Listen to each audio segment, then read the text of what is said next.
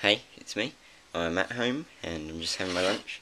I've got uh, Marmite mayonnaise on toast and I've got a Coke.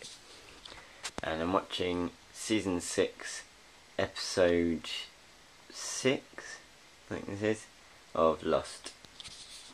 So I'll talk to you later. Hey, it's me. I'm riding to work. Yeah, I'm going to work to finish off the Deli and Butchers which we put in yesterday. And so I'll talk to you later. Hey, it's me. It's now midnight. I've got back from work at about 11.30 at night. Because we've been working on the deli.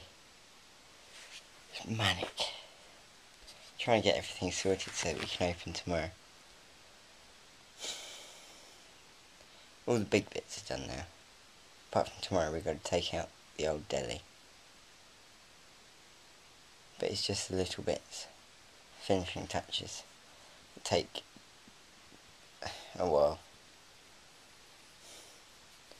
And my parents are going away tomorrow as well, so they're going away for 10 days, so I've got to cycle to work for the next 10 days.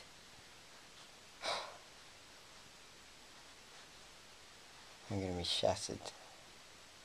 I'm pretty tired now. And so my videos will be a bit late, I think.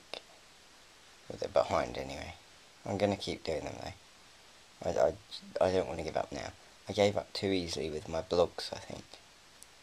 So I really want to commit to this, so I'm going to. So I'll talk to you later.